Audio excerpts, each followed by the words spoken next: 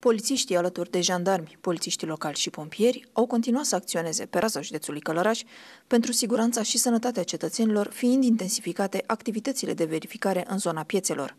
Au fost legitimate peste 200 de persoane și au fost controlate 36 de obiective sau locații cu privire la respectarea prevederilor legii numărul 55 pe 2020.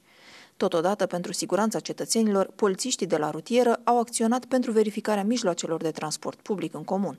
Au fost aplicate 94 de sancțiuni contravenționale, 75 dintre acestea fiind conform legii 55 pe 2020, privind unele măsuri pentru prevenirea și combaterea efectelor pandemiei de COVID-19.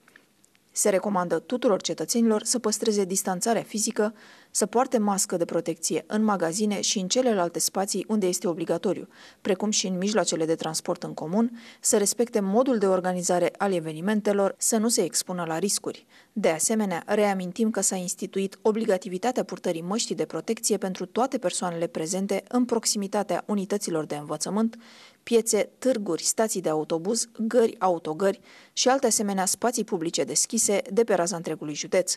Vă reamintim de tel verde 0800 800 165, număr de telefon la care puteți sesiza nereguli privind respectarea măsurilor stabilite în contextul COVID-19. La nivelul județului Călăraș au fost înregistrate în data de 15 octombrie 30 de cazuri noi de infecție cu noul coronavirus.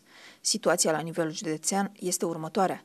540 de persoane aflate în carantină la domiciliu, 217 persoane în izolare la domiciliu, 102 persoane în izolare instituționalizată internate, 1127 de persoane confirmate de la începutul epidemiei, dintre care 256 de cazuri active, 409 persoane au fost declarate vindecate și s-au înregistrat 44 de persoane decedate, dintre care două femei în vârstă de 60 de ani, respectiv 66 de ani, decedate în data de 15 octombrie.